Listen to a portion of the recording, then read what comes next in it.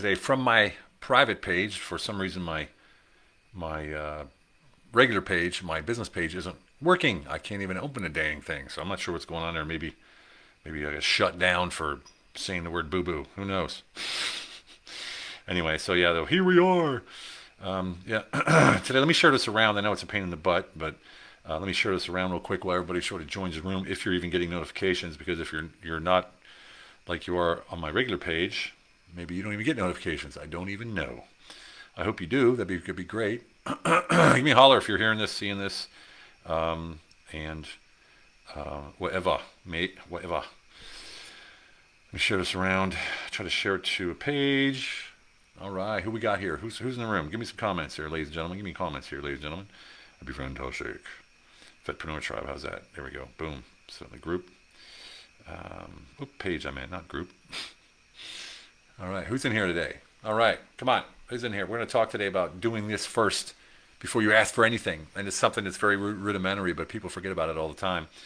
Uh, you know, I I had a coaching session today with I don't know, probably 15 M&A guys and gals. Hey, Travis Johnson, wouldn't miss it for the world, my brother. Thanks for that message, dude. That was like boom, made my day, man. I fucking freaking honest. Oops, I just swore online. What's up, Brian Hess? How you doing, my man? All right, look at this guy in my room. Honored. um, I can't do two things at once. I'm trying to share this around. For some reason, it's not working. Anyway, I want to talk about doing this first. And this thing that you do first is something that everyone does intrinsically and automatically. But when it comes to things that you want, a lot of people don't do this thing, and that is solving a problem first, helping someone else first. You know, I was talking to these M&A guys today, and they talk about, hey, Andrew Smith, what's up, brother? Talking about M&A right now.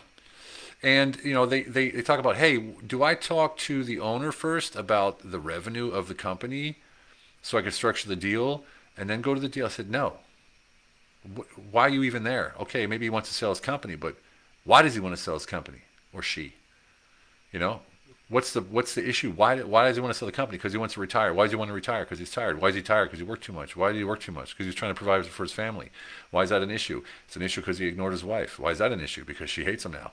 So why is that an issue? Because he wants to make it better. So like all of these things, right? The seven whys they say. Right? All these things lead to you being able to have a more precise answer or a more, more precise solution to their problem. If I walk into a bar and I walk up to a girl and say, "Hey, you look great. You want to go home?" What are my chances? Why don't I go up there and get to know them first, find out what they need, what they are, and sort of say, look, you know what? Actually, you're looking to relax. I got a hot tub. You know, I mean? it's like, you know what I mean? It could be cheesy, but it could work, right? Because you're providing a solution for, for one of their issues.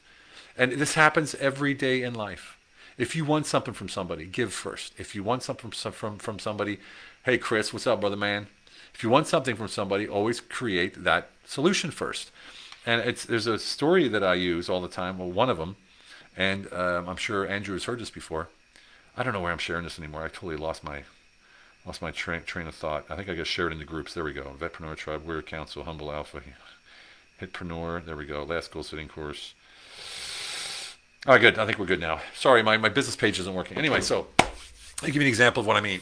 so you guys know I'm in M&A. I'm not a big deal, right? I'm not a big deal in M&A, but I do what they call WIBOs, work in and buy out. And people think M&A is like, go see a company and buy it. And to, well, I don't have that kind of money to be throwing around buying, you know, $20 million companies. So there's ways to buy companies and there's ways to work with companies to take, take equity. Because me, I don't want a job. I don't want to buy a job. So if I buy a company like a plumbing company, I would never do that because I don't want to run the company. So I, I, I look for companies where I can do a value add first. So what do I do? I see a company for sale. I get on a call with them and I find, well, what's going on? Where you at? How you doing? What's your status? What's not working? What have you tried to overcome it? Why do you think that didn't work out? And where do you want to go? Those are five questions I ask in a conversation, right? And once I find that out, let's give you an example. So I was talking to a, uh, a company in Austria, and they do a, a spray that's porcelain. And you spray it on the barrels of weapons, and it keeps them um, from freezing or getting too hot. So it's like, I mean, they don't freeze, but keep them from getting too cold or too hot. And it's not oily, so you can just brush it right off. and they want to get to America. So typically I'd say, okay, well, uh, you're looking for a partner, an equity partner. I can invest this much and then try to take you to, to America. No. what did I say? Solve their problem first, right? So what do I do? I say, give me a week, I'll be back. I, I, I called America to my buddies in the military, of course, and in the military space, veteran space. Found a distributor, right? Found the, the, the Shot Show, which everyone knows in Vegas. I think it's in Vegas. I've never been. And um, I found uh, was a distributor, and I found um, outlets that he would distribute to, and we calculated how much he would sell if he would sell, things like that. And then, of course, you have to set it up to, into the shipping and the manufacturing, that kind of stuff, because he would have to manufacture more to ship to America. So I figured all that out. Then I went back to him and I said, okay, this is the deal. You want to go to America, you want to sell, and you want to get into outlets. Okay, I got you there. And we have a show as well.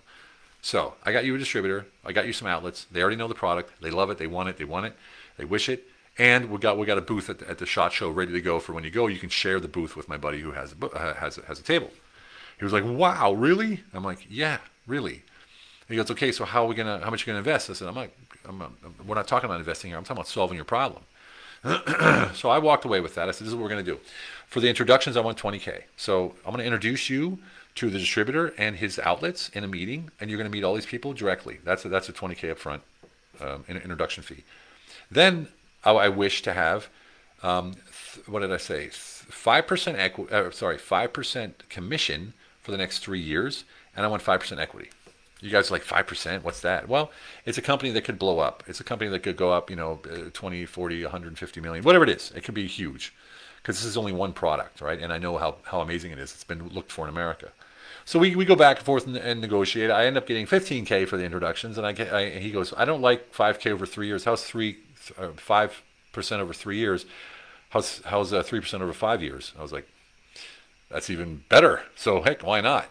right? And then I asked for a retainer for the first three months so I could set up the deal. He said, okay. So basically, this guy paid me to own equity in his company, to to help him uh, structure the deal over in America, get him in contact with these people.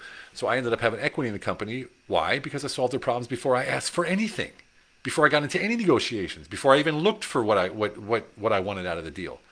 and that's the key. If you if you go to our book, Unleash Your Humble Alpha, which you've all seen, probably. Hey, baby love, my my wife calling me sexy there. I love that. is we create space. And when you what, what, creating space is so powerful because when you walk into a room, when you go into a meeting, when you go talk to your wife, when you talk to your kids, when you go on stage as a keynote speaker, especially to customers, you go there with no preconceived notions. None. That means no cookie cutter solutions, no preconceived notions, and no sort of like ideas of what you want out of the deal. Why? Because we cannot control the outcome. We only control the intention. Sure, you can say I have the, the, the ten you know closing techniques, the poor you know all these kind of like you know uh, you know it is it's going to be a dollar a day. That's less than a coffee. You know that kind of stuff. That's all. That's all leveraging. It's, it's coercion. Coercion. So uh, hey Andrew, thanks man. And taking notes. What? Okay, yeah, for my wife. No, just kidding.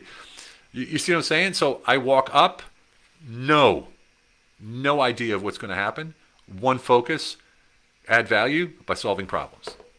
Everything I know, all the deal prop structures I have, all the issues that I can I can solve for them, they're in a toolbox beside me, and I only use them when I need them.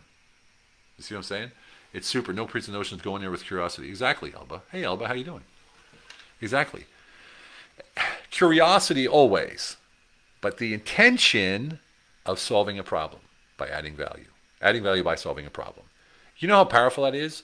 I can talk, I can go into any room and I don't give a crap who's in there. That's how I got to work for people like Andrea Bocelli or Olivia Newton-John because I wasn't I wasn't worried about the outcome. Because if that's the path that I'm on, that's the path that I'm on. It doesn't, it, and if I'm not on that path, it won't happen. So hey, boom, super. You know, and these, hey Israel, and these are the, this is the way I do every single interaction. I go to the post office, I go here, I go there. And when I find myself in a place where I'm asking for something, hey, Jason White, Semper Fi, Buenos Dias, Israel. And if I find myself in a place where I go into an interaction and I have an expectation, I feel it, man. I feel it like, oh man, this guy's going to feel that I want something. Because if I want something, you're going to feel it. I don't care how nice I am. You're going to feel that I'm trying to get you to a place to get you to buy. Now, every single sales trainer will tell you there's techniques and tricks and do this. And I know I was a sales trainer for many years. I trained the entire European team of, of our corporation, 3,500 companies and uh, um, employees. And the team before that was, was I think it was a thousand people in, in another company. And I taught all those things, you know, like, hey, you know what? If you break this down per day, it's only a dollar a day. That's less than a Starbucks coffee. What's that? You can, you can give up a Starbucks coffee every day, right? That's not a problem. It's bullshit, right? It's bullshit.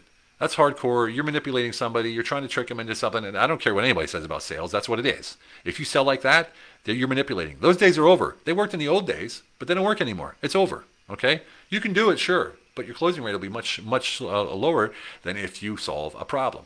Same thing goes, Dr. Daniel. Same thing goes, let's say, for health clubs, right? Someone comes in the health club. Okay, you want to join a club? I don't know.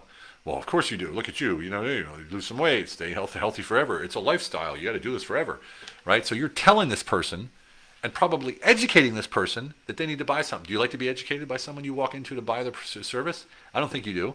You know, you want to be educated by by by the cook who's cooking your food, saying, "Look, this is how I'm going to make." No, you can't eat that because you ha- you can't eat two starches. Would you appreciate that? No, hell no, you wouldn't appreciate that. So what do you do? In health clubs, you solve problems. You sit down with them. You say, "What's your problem? Where are you at?" Right? Where are you at? What's your status report? What are your issues? What have you tried to do to overcome them? Why do you think they didn't work? And where do you want to go? Right? These are the questions you ask, but you do it in a conversation. And then you show them parts of the gym that apply to their issues so that you can solve them. And they come back and they're like, man, this is awesome. When can I start? That's how it works. Now, in the old days, you would sit there and go, okay, let's let's draw a line down the middle of a piece of paper. On the left-hand side, what are the negatives if you join? On the right-hand side, what are the positives if you join? And if the positives are more than the negatives, then you're going to join. I mean, come on, seriously? Whoever does that, dinosaur, right? Time to get upgraded, right? Time to get upgraded. It's all here. It's all right here. And this is not a sales book. That's the cool thing about it. Because what I'm telling you right now is not a sales book. It's not a sales book. It's called contenance. It's called having class. It's called giving before you receive. It's called doing something for another person before you ask for anything at all. And you do it because you truly and honestly care and are genuinely interested in helping that person in front of you. If you're not, then don't even try to sell. If you don't care, save yourself the trouble. Save yourself the trouble. People can feel that you care about them. It's Elba, amen to that. They can completely live with that. You know, I mean, sorry, can people they, they completely care, but you it it's uh, I can't think of the word. I was speaking German. Oh Jesus, I can't think of the word. So anyway, um, you know, you got to be you got to be honest about it to yourself. Like, am I doing this right now and being nice to this person and solving their problem because I want the deal? If you can, I mean, this is amazing. If you can separate yourself from the outcome, life is magic. Like I'm on calls with people sometimes. I would love, I mean, like famous people, I would love to have them as a client. But I have zero intention of pushing them in that direction at all. Zero. I'm like, look, if it happens, it happens. If it doesn't, it doesn't. It's my path. My path is there. And if that's on my path, they're on my path, it's going to happen. If not, whatever. Right? So that's the lesson, I guess you could call it for today, because I just I, I literally got off a call with the with the with the other M&A guys, talked about it, got on on another like a mini coaching call for 15 minutes, same exact thing, same exact thing. People go into something expecting, okay, I'm a salesman, you're a customer, I have to sell to you. No, you got to buy from me. People get it wrong all the time. You know, that's why I don't like working with uh many venture capital companies. I don't like talking to them because they, they're always sitting there on their throne going, look, you know, come to me. I got money, right? You got to pitch to me. And for me, I don't know. Without without entrepreneurs looking for money, there wouldn't have been any VCs in the first place, would there? Right? I, I, I want a partner who cares if I work with somebody. I want, I want someone who cares about me. I don't want to just want their money, right? That's a big difference. And that's the way the world's going. That's the way the world's going. I promise you. People are sick of this this leverage and everything. At least at a certain level. Up you know up at the higher levels in politics, we all know what's going on there, right? Anyway, hey Tabitha, how are you? Great to see you. All right, so that's it for today. Hope you're doing fantastic. Remember, give before you get, give before you ask, solve problems, add value, create space, and you're going to live a completely different life that is almost worry free. And then, of course, the expectations, knock them out of the way, unless, of course, you verbalize them, right? We all know that. Why? Because it's in the book. You better have read it. okay, everybody, have a fantastic one. And remember, it's all about quality of life. See you tomorrow.